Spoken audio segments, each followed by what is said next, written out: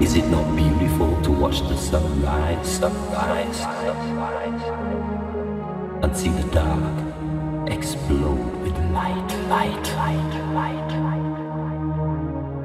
light?